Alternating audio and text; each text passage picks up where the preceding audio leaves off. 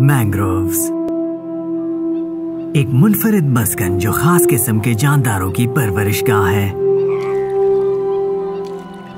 यहाँ कीचड़ पर एक परिंदा रहता है, जिसकी टांगे एक मीटर से भी ज़्यादा लंबी हैं। ये अपने खाने के मुताबिक अपना रंग बदलता है। ये अपने सर को उल्टा करके खाता है। एक और अजीब मखलूक को यहाँ पर रिस्क मिलता है।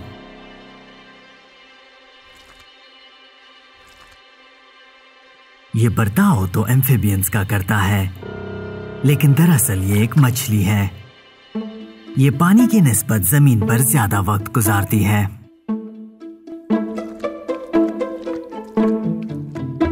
ये अजीब मछली पानी से बाहर अपना इलाका बनाती है, खुराक खाती है।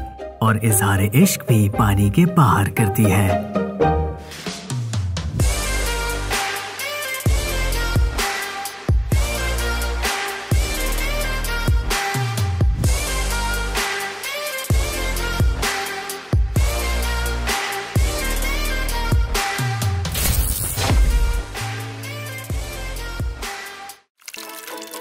ब्रूटस और मैं जुनूब की तरफ़ जा रहे हैं।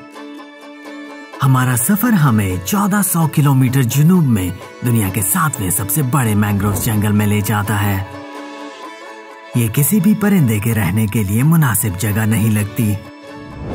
लेकिन कराची के मजाफात में,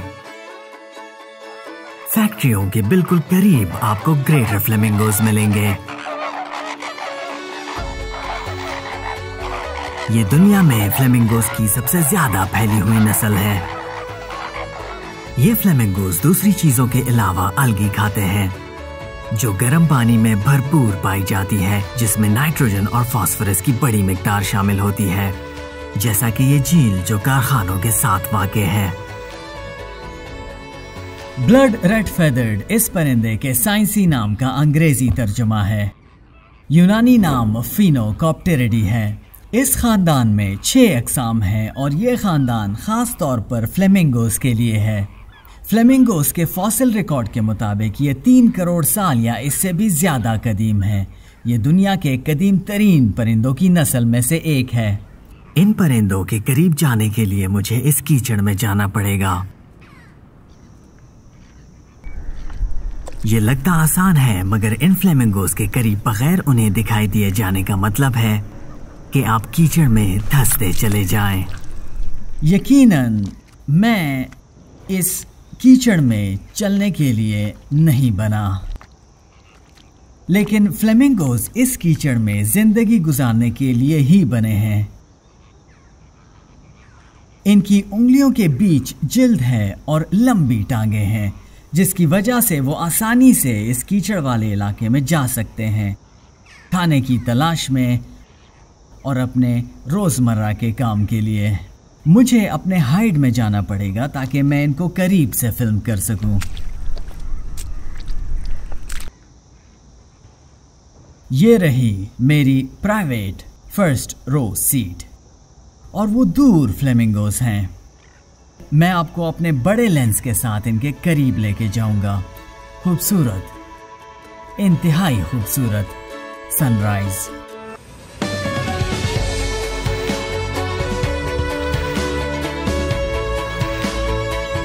ये परिंदे आपको बाहर गुलाबी और नाजुक नज़र आएँगे, लेकिन हकीकत में ये इंतहाई सख्त जान परिंदे हैं।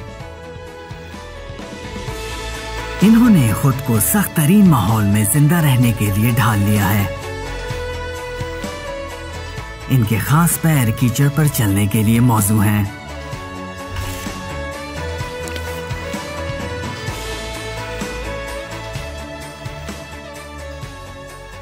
इंतहाई लंबी टांगे इनको गहरे पानी में चलने में मदद देती हैं।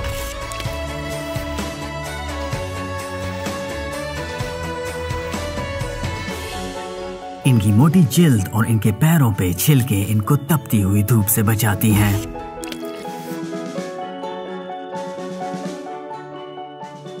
हैरत अंगेज तौर पर यह खोलता हुआ पानी भी पी सकते हैं।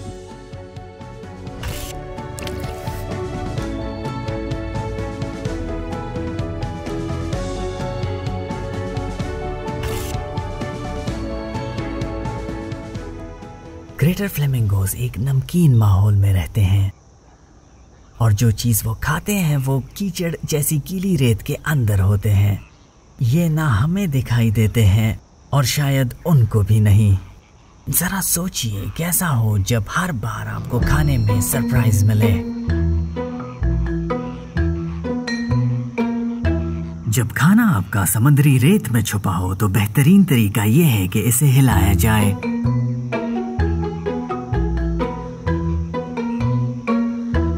उठाया जाए।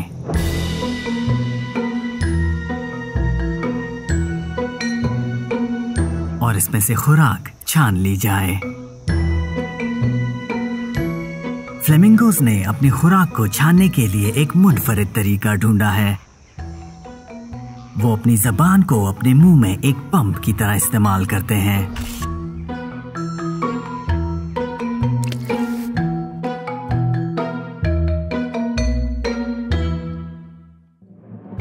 इसलिए करते हैं कि वो छान सकें क्रस्टेशंस को, कीड़े मकोड़ों को और बाकी छोटे जानदार जिनका डायमीटर एक इंच से ज़्यादा नहीं। एक फ़िल्टर फीडर होने की बिना पर ये दूसरे परिंदों से ज़्यादा बलीन वेल्स और ऑयस्टर्स से मिलते हैं।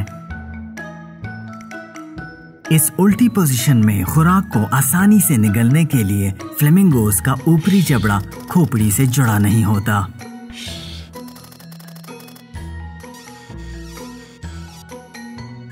इनका ऊपरी जबड़ा इस उल्टी पोजीशन में वो काम देता है, जो मैमल्स और दूसरे परिंदों का निचला जबड़ा देता है। हकीकत में ये परिंदे ग्रे हैं और गुलाबी नहीं। गुलाबी रंग इनकी खुराक में मौजूद एक खास मादे कैरोटिनॉइड से आता है। इस नाबालिग फ्लेमिंगो को कई साल लगेंगे। कि ये इतना पिगमेंट जमा करे कि गुलाबी बन जाए। असल में ये इनका खाना है क्रस्टेशंस और अलगी जो इनको ये रंग देता है, जिससे ये दिलकश लगते हैं। और ये खूबसूरत रंग ही है, जिससे फ्लेमिंगोज अपने ग्रुप्स में दूसरों से रबते का बाइस बनते हैं।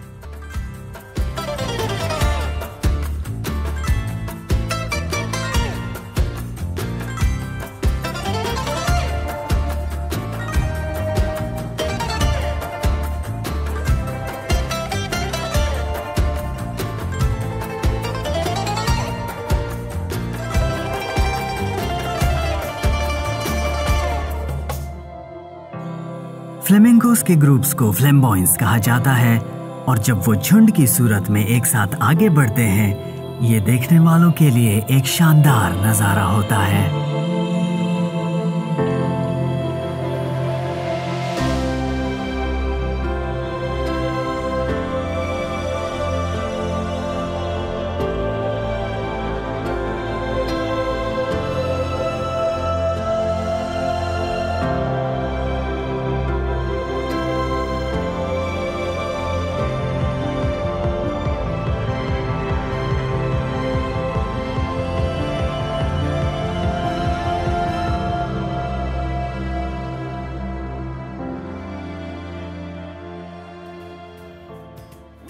फ्लेमिंगोस इस शक्ल को इख्तियार करने के लिए काफ़ी वक्त सर्व करते हैं।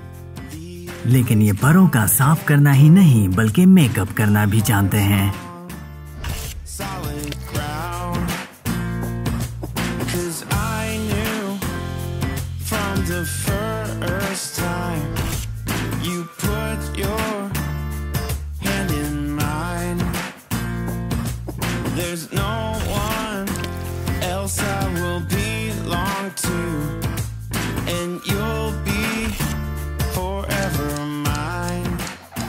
फ्लेमिंगोज बहुत टाइम खाना खाते हैं, परों की सफ़ाई करते हैं और आपस में लड़ते रहते हैं।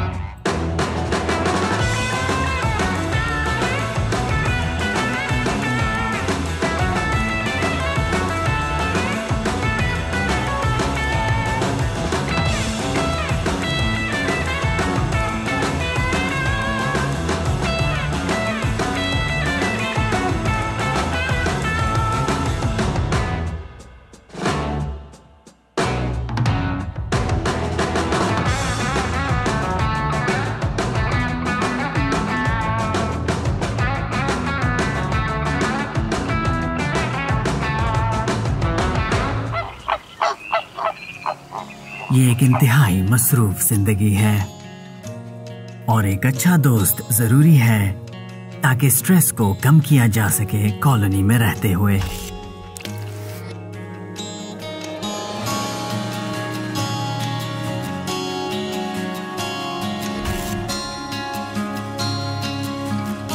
फ्लेमिंगोज आपस में जो मज़बूत रिश्ते बनाते हैं, वो सिर्फ़ नर और मादा का नहीं।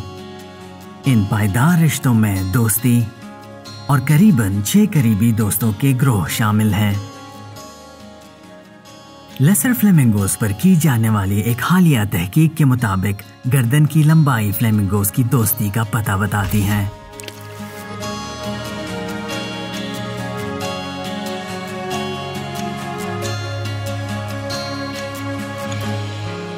फ्लेमिंगोस की दोस्ती काफ़ी तवील अरसे तक चलती है। क्योंकि ये परिंदे 50 साल या इससे भी ज़्यादा ज़िंदा रह सकते हैं।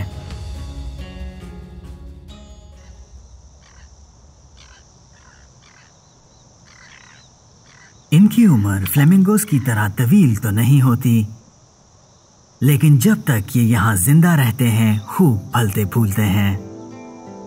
मर्स के पर्स वहाँ रहते हैं जहाँ कभी पानी होता है और कभी खुश्की और कभी कभार दोनों।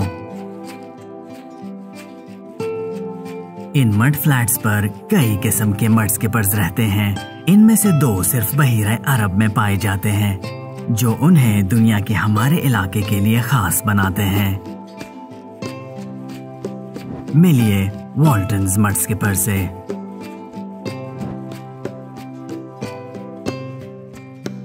और किसी हद तक बड़े डिसमियर मट्स के पर से।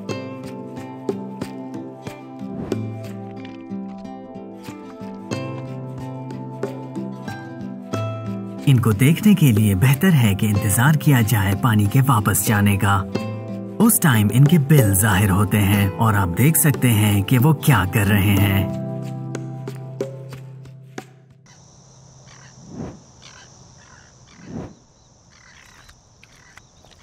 ये मछली खास तौर पर ज़मीन पर घूमने फिरने के लिए बनी है।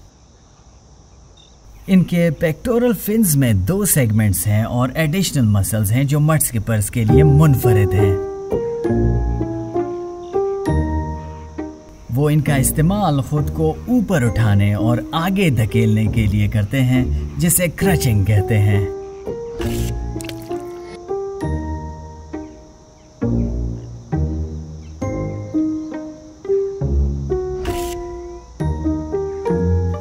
देखने में कोई खास तरीका तो नहीं लगता, लेकिन इनके लिए काम करता है।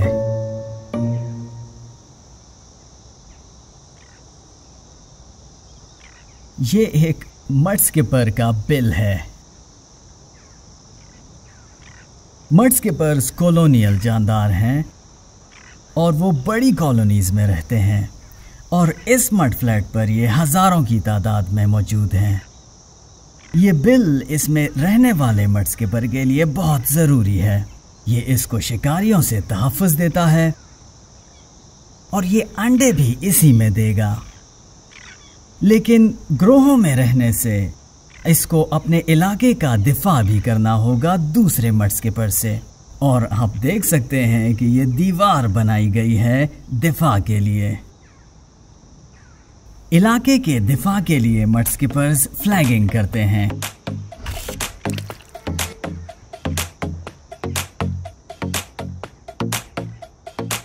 इस तरह की पुरहुजूम कॉलोनी में रहने से इनको फ्लैगिंग बहुत ज़्यादा करनी पड़ती है।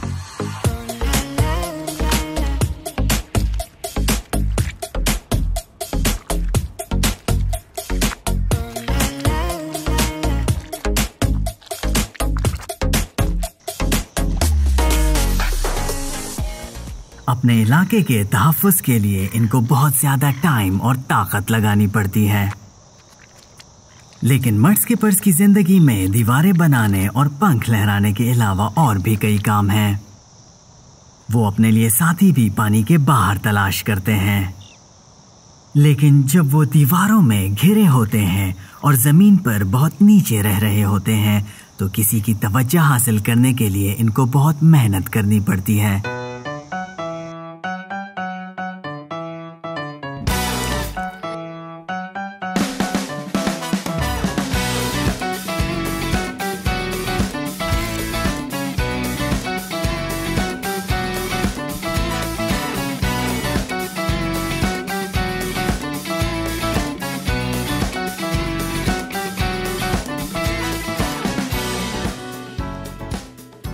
भरपूर कोशिश के बावजूद भी इस मड स्किपर को सबर करना पड़ेगा।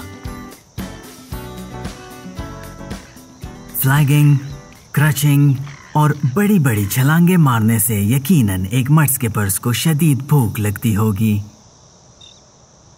एक मछली को पानी के बाहर खुराक खाने के लिए एडेप्टेशंस चाहिए। इनका खाना बिल्कुल इनके नीचे कीचड़ में पाया जाता है। इसीलिए इनका मुँह सही इनके सर के निचले हिस्से पे है।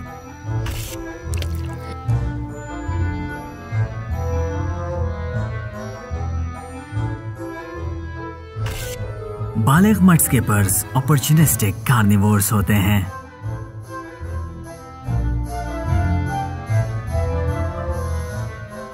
ये बुनियादी तौर पर क्रस्टेशंस और कीड़े खाते हैं।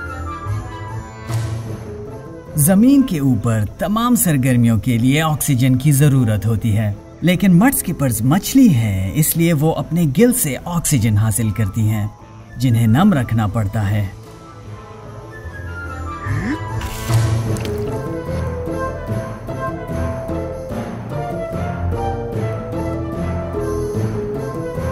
दूसरा तरीका इनके मुँह में जिल्द के ज़रिए है, जो सांस लेने के लिए मौजू है। लेकिन इससे भी काम लेने के लिए इसे गीला रखना पड़ता है।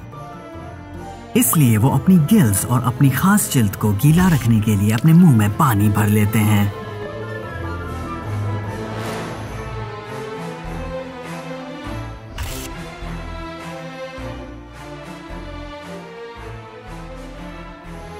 ऐसा करते हुए एक मछली बहुत अजीब लगती है, लेकिन ये मछली इससे भी ज़्यादा अजीब है। ये अपनी जिल्द के ज़रिए भी सांस लेती हैं और एम्फिबियंस भी ऐसा करते हैं, इसे कहा जाता है क्यूटेनियस रेस्पिरेशन कीचड़ में लथड़ना इनका एक तरह से ताज़ा हवा में सांस लेने का तरीका है।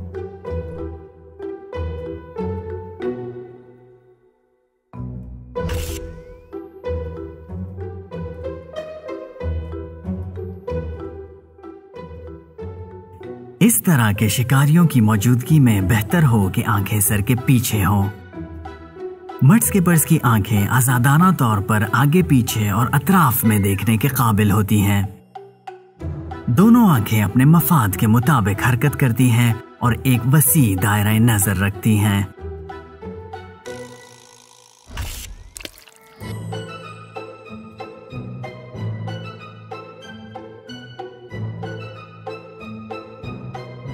मर्ड्स के पर्स की आँखें 360 के जाविये पे देखने के काबिल होती हैं,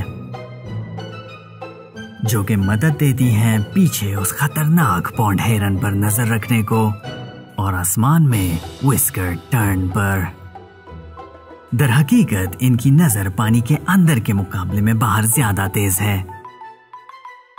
लेकिन मछली होने की हैसियत से इनकी आँखों को अच्छी खासी नमी चाहिए। ये मट्स के पर पलके नहीं झपक रहा।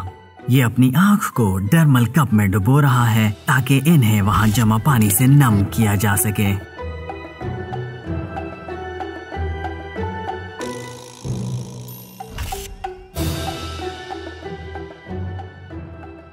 जब इंतबाह के बावजूद भी एक मर्ज के पर किसी दूसरे के घर में घुसता है तो वो मटके पर अपने इलाके के तहफ़ में इसको अपनी प्रॉपर्टी से भगाता है।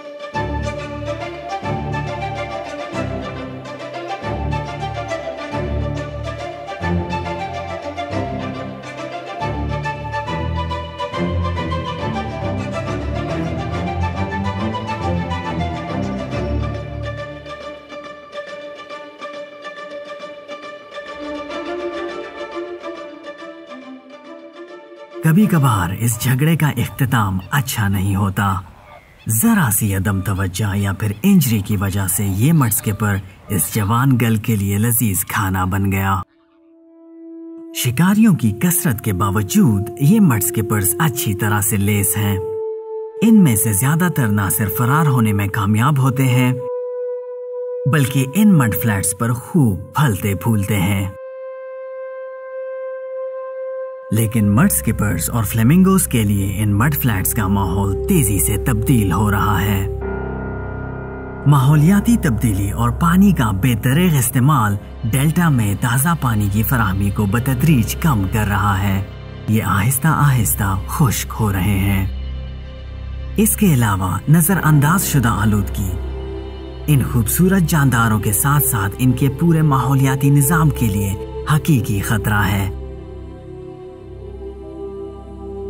ये उन बहुत सारी चीज़ों में से एक है जो हमारे इख्तियार में है कि हम इसे बेहतर कर सके। और मुझे यकीन है कि पाकिस्तान के मैंग्रोव्स अपनी नाकाबिले यकीन बायोडाइवर्सिटी को बरकरार रखेंगे।